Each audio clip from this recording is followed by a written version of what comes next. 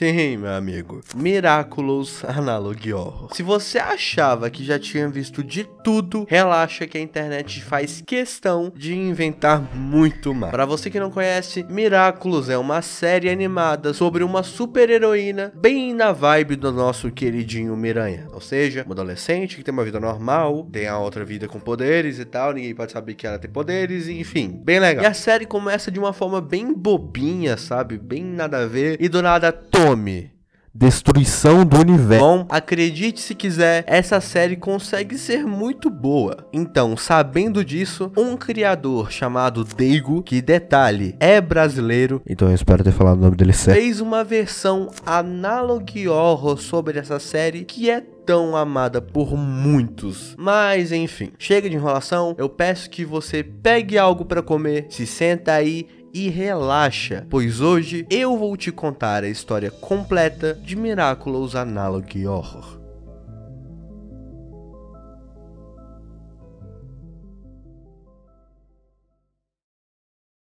O vídeo começa nos dando um breve contexto que será extremamente necessário para entendermos essa história. Bom, há muito tempo atrás, tipo, é muito tempo mesmo, foi criado por um mago muito forte uma coletânea de joias poderosas chamadas de Miraculous. Olha só quem diria. E entre todas elas existe uma joia muito poderosa, o Miraculous da borboleta. Esse Miraculous é capaz de dar poder para qualquer pessoa através de seus sentimentos positivos. Olha só como esse cara ficou feliz. Porém, algo aconteceu que simplesmente mudou tudo mudou o rumo da história inteira, já que o atual usuário desse Miraculous a corrompeu. Ele não utiliza a joia para sentimentos positivos, e sim para sentimentos negativos. Tudo isso por conta da sua ambição imensa de poder, pois o seu objetivo é pegar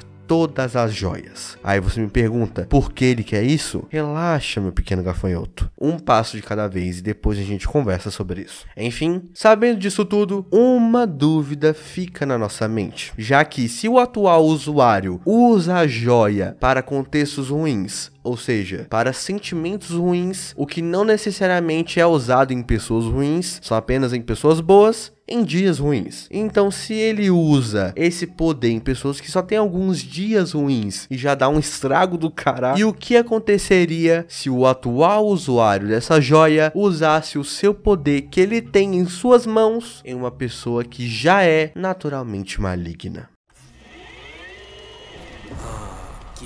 belo sentimento negativo. Parece que é hora de trabalhar. Espera. O quê? Ah, que pessoa peculiar. Eu preciso daqueles miraculos a todo custo, não importa qual seja o preço.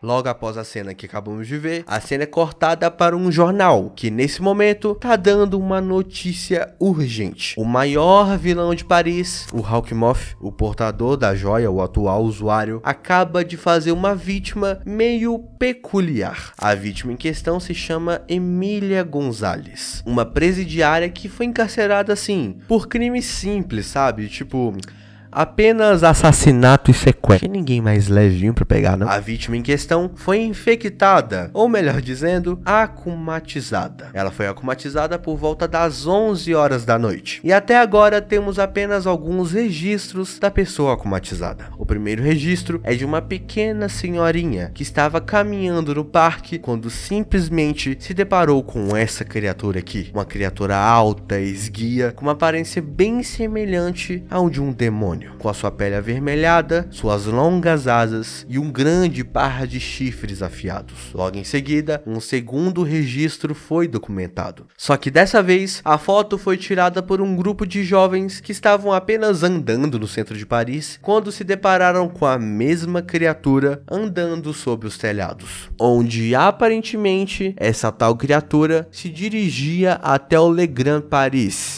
que caso você não saiba, é simplesmente um puta hotel foda. Enfim, nenhuma das pessoas que tiraram a foto dessa criatura se feriram. Mas tá, simplesmente uma besta louca tá indo para um grande hotel. Ela não atacou ninguém que percebeu ela, então eu pergunto, qual é o intuito dessa criatura? Pois bem, a reportagem continua. A assassina então chegou até o Legrand Paris e ela tinha apenas um objetivo em mente, acredite se quiser: sequestrar a filha do prefeito, Chloe Bourgeois. Chloe, até o momento da notícia, estava desaparecida, porém, em meio à notícia mesmo, informações de última hora confirmaram o que todos temiam. Ou não também, né? Puta personagem odiado. Chloe Bourgeois foi encontrada ela foi encontrada às margens do rio Sena por volta da manhã com seu corpo completamente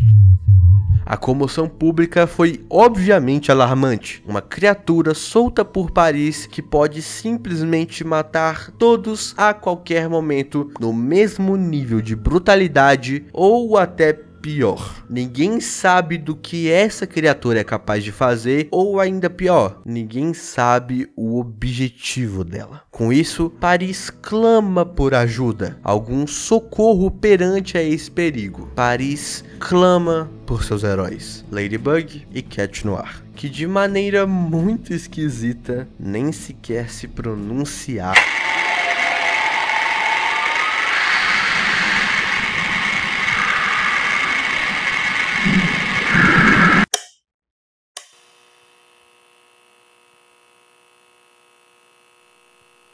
O que?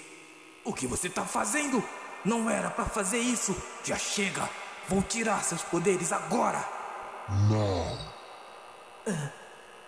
Não quero os miraculos? Então deixe fazer do meu jeito. Eu preciso dos miraculos. A todo custo. Não importa o preço.